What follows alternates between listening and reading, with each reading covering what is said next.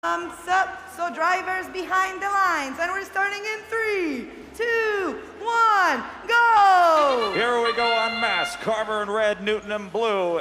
And three, Carver Cargo go in the upper hub. Five, Newton Blue Cargo go in the upper hub. Four points apiece as points are doubled here in Autonomous. And Madtown is taking advantage for the Carver Alliance as the Red Alliance will come out of the Autonomous period with only a two-point lead.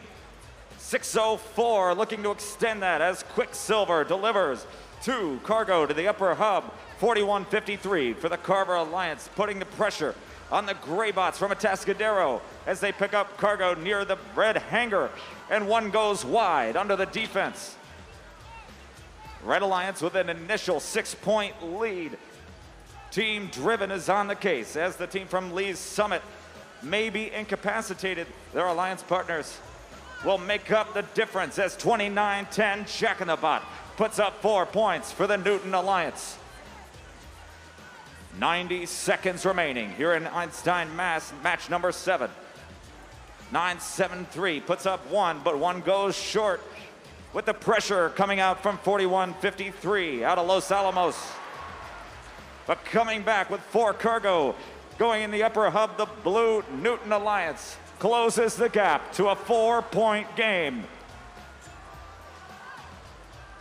Team 29-10 getting squeezed against the wall by Madtown as they push back and find Hometown on the blue side of the field as they tie it up 79 all with less than a minute for play.